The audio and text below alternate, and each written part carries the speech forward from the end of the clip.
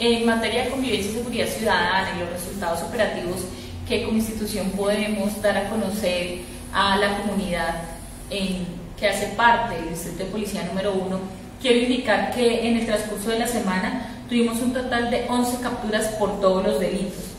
Se tuvo un total de 4 armas incautadas, 4 armas de fuego ilegales incautadas y de igual manera un total de 10.036 gramos de marihuana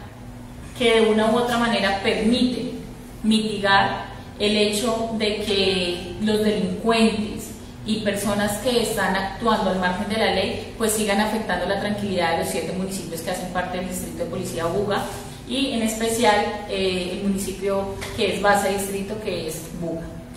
Desde el Distrito 1 de la Policía en Buga dieron a conocer sobre la captura de una persona responsable de un caso de homicidio. Con ocasión de ese hecho desafortunado, Teniendo en cuenta las circunstancias de los hechos, se logró la captura de una persona, de un joven, eh, con dos armas traumáticas que estaban en el interior del vehículo, razón por la cual